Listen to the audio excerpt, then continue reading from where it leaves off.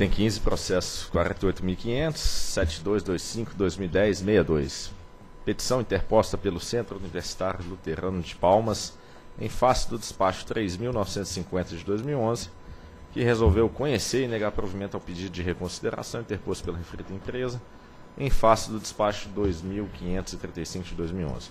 Diretor relator, doutor André Peptoni. Em 8 de março de 2010, o Centro Universitário Luterano de Palmas registrou reclamação na ANEL alegando falta de isonomia no tratamento dos consumidores por parte da Celtins por ter comercializado um produto de energia interruptível oferecido apenas aos consumidores que possuíam geração própria. Em 14 de abril de 2011, a Procuradoria-Geral da ANEL exarou o parecer 227, opinando pelo não acolhimento do pedido do Centro Universitário Luterano de Palmas, eis que destituído de respaldo legal. Em 23 de maio de 2011, o assunto foi examinado pelo, pela Comissão Técnica de Avaliação de Processos, instituída pela Portaria 524, de 27 de fevereiro de 2007, que considerou improcedente a reclamação do consumidor. Em 14 de junho de 2011, foi exarado o despacho 2535, por meio do qual o diretor-geral Danel, mediante decisão do colegiado, resolveu conhecer e negar provimento à reclamação apresentada pelo Centro Universitário Luterano de Palmas referente à revisão de faturas de energia elétrica emitidas pela Celtins.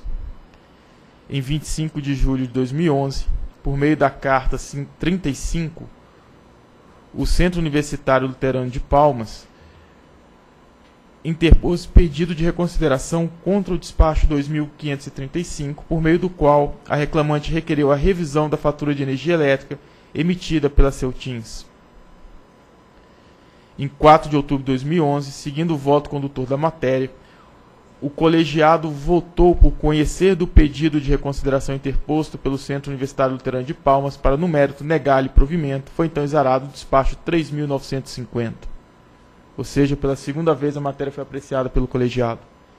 Aí, em 23 de março de 2012, o Centro Universitário Luterano de Palmas interpôs nova petição, na qual requer a revisão da decisão consubstanciada no despacho 3.950 de 2011, por vício de ilegalidade, bem como a anulação do parecer 227-2011 da Procuradoria-Geral da ANEL, que embasou a decisão.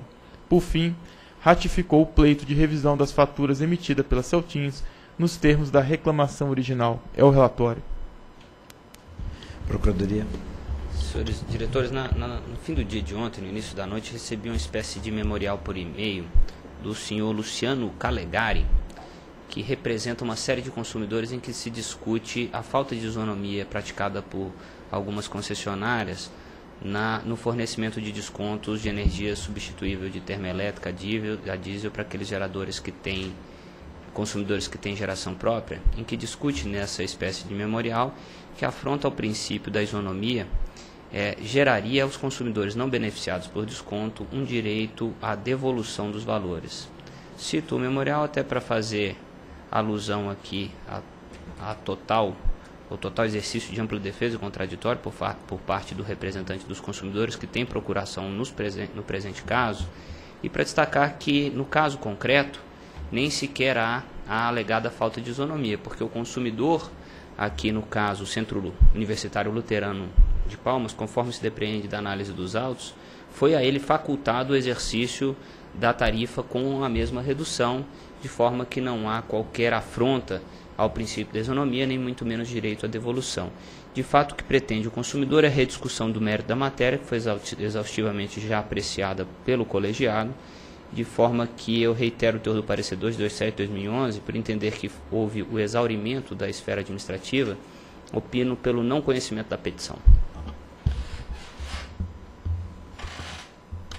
Segundo dispõe o artigo 42 da Resolução 273-2007, das decisões administrativas cabe recurso em face de razões de legalidade e de mérito, sendo a diretoria a instância máxima recursal nas matérias submetidas à alçada da agência. A petição interposta pelo Centro Universitário Luterano de Palmas controverte decisão tomada pela agência em sede recursal, configurando novo recurso em matéria já dirimida pela diretoria.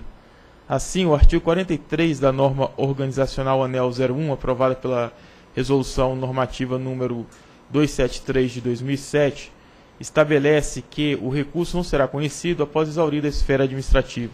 De fato, exaurida a esfera administrativa, não cabe o conhecimento da petição, motivo pelo qual apenas reitero os esclarecimentos apresentados quando da apreciação pela diretoria colegiada do pedido de reconsideração interposto pelo Centro Universitário Luterano de Palmas, onde foi ressaltado que a alegação da requerente quanto à ilegalidade do procedimento adotado pela Celtins não procede.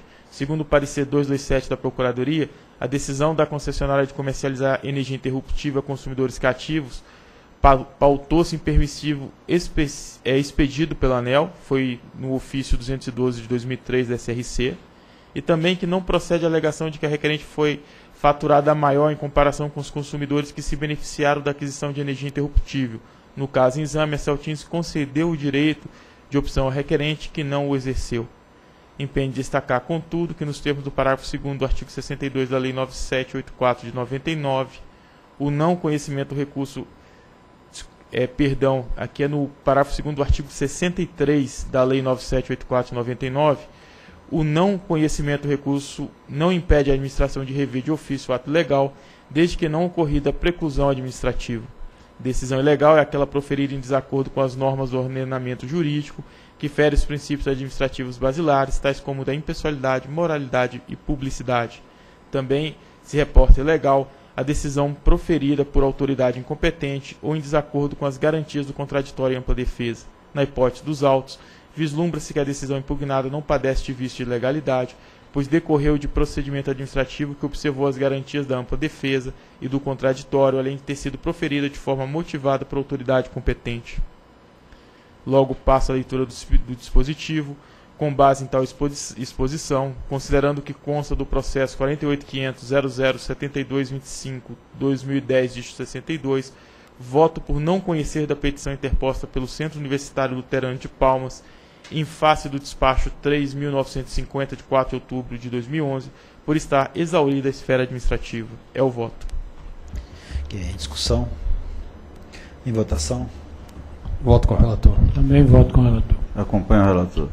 Também voto com o relator. Decidiu por não conhecer da petição interposta pelo Centro Universitário Luterano de Palmas em face do despacho 3.950, por estar exaurida a esfera administrativa.